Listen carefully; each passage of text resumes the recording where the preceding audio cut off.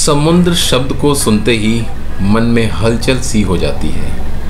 हज़ारों सालों से लोग इसके रहस्य को जानने में लगे हैं, लेकिन समुंदर अपने घर में न जाने क्या क्या समेटे हुए हैं। इश्क का रूहानी एहसास समुंदर, ख्वाब और दरिया जैसे शब्दों के साथ और गहरा हो जाता है। शायरों के लिए समुंदर या सागर बड़े बिंब और प्रतीक के रूप में उभरते हैं। और ये है हमारा समुंदर और ये हमारा गोवा।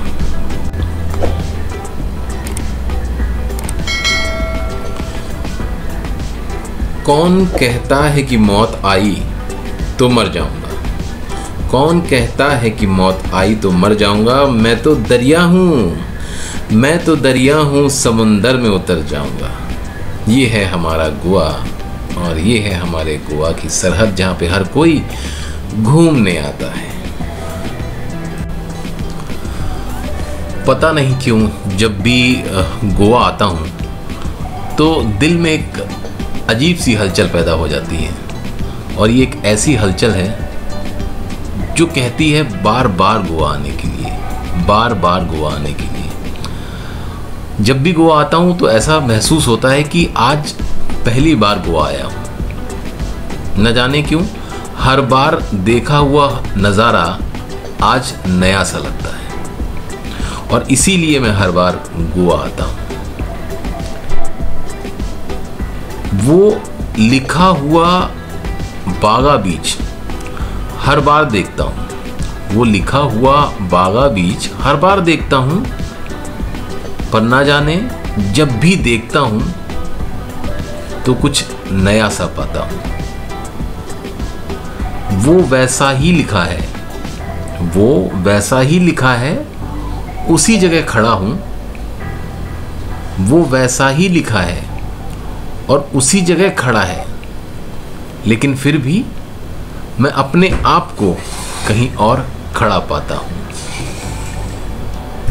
जब भी किसी को कुछ समुंदर के किनारे लिखता हुआ पाता हूँ, जब भी किसी को समुंदर किनारे लिखता हुआ पाता हूँ तो चाहे वो कुछ भी लिख रहा हो, मुझे गोवा सा लिखता नज़र आता है। मुझे गोवा सा लिखता नज़र आता है और इसीलिए मैं हर बार गोवा आता हूँ। मेरे सामने से जब कोई गुज़रता है, जब समंदर किनारे जब भी कोई मेरे सामने से गुज़रता है तो लगता है, अरे ये तो मुझसे ही कुछ कहने आ रहा है। कि अरे, ये तो मुझसे ही कुछ कहने आ रहा है और जब मेरे बगल से निकल जाता है तो लगता है कि कुछ ऐसा कह के गया है कि इस बार आए हो, अगली बार फिर से आना है। इसीलिए मैं हर बार गोवा आता हूँ। लोगों को हँसते हुए मुस्कुराते हुए देखता हूँ। लोगों को हँसते हुए मुस्कुराते हुए देखता हूँ तो लगता नहीं कि इंसान मुस्कुरा रहा है।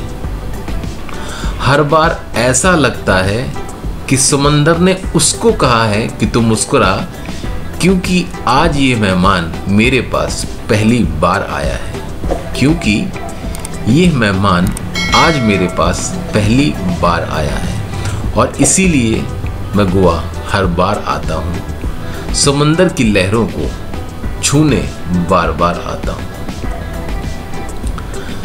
जब भी लोगों को समुंदर के अंदर जाते हुए देखता हूँ, जब भी समुंदर के अंदर लोगों को जाते हुए देखता हूँ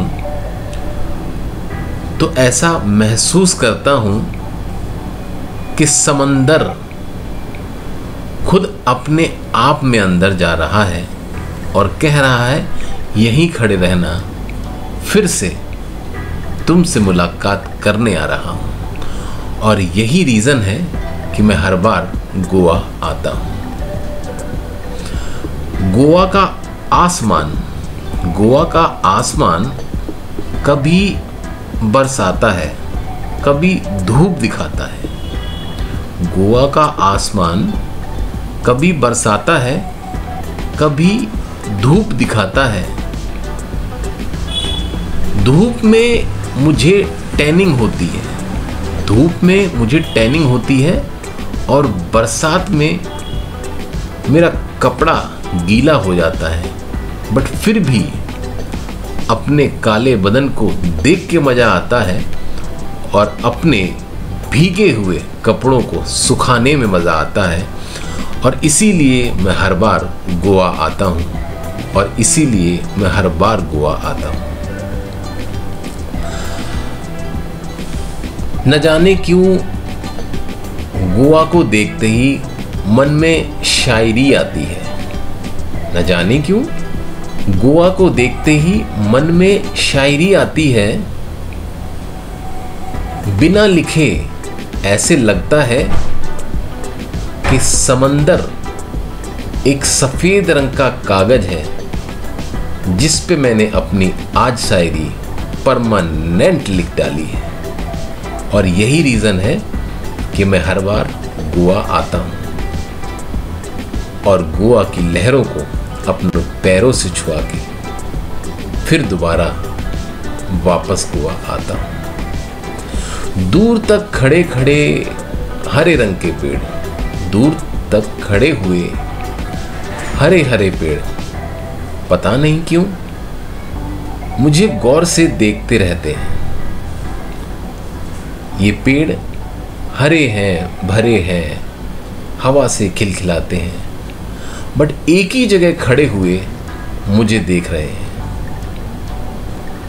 और जब मैं इनसे पूछता हूँ कि, अरे मैं तो पिछली बार भी आया था। तुम तो यहीं खड़े थे। तो हर एक पेड़ मुस्कुरा के कहता है कि तब से तुम्हारा इंतज़ार ही तो कर रहा हूँ। तब से तुम्हारा इंतज़ार ही तो कर रहा हूँ।